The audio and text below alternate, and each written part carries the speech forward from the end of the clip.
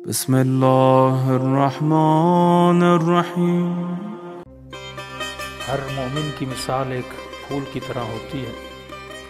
फूल अपनी जगह पे खूबसूरत होता है, लेकिन ये फूल खूबसूरत और ज़्यादा तब लगते हैं जब गुलदस्ते में आ जाएँ। अगर मोमिन ज़रा सिमट कर एक गुलदस्ते की सूरत में बैठें जब